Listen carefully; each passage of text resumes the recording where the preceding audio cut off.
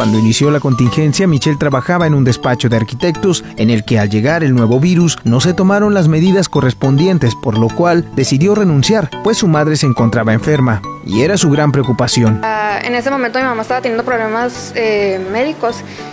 y pues decidí salirme de trabajar porque no tenían las medidas necesarias. Me puse a, hacer unos eh, postrecitos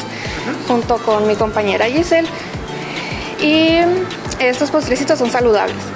especialmente para que mi mamá pudiera comerlos. Al mismo tiempo que Michelle decidió emprender, su hermana Leti, quien al comenzar la pandemia tuvo problemas para concretar sus trámites en la licenciatura en nutrición, inició con su proyecto de accesorios y después de ingresar al mundo de los emprendedores locales, decidieron hacer algo más por aquellos que como ellas explotaron su creatividad para salir adelante durante la pandemia. Principalmente apoyar a todas las marcas, pues así como nosotros que la mayoría sí iniciaron en pandemia y cada una con una razón diferente, una historia diferente y, pues con sueños y metas que cada uno tenía, ¿no? Las jóvenes indicaron que después de la pandemia por COVID esperan ambas encontrar trabajos relacionados a su profesión, así como conservar este espacio en el que ya dan asilo a 40 emprendedores dedicados a gastronomía, accesorios, bebés, salud y belleza, entre otros. Con imágenes de Santiago Gutiérrez, Pablo Reyes, Azteca Noticias.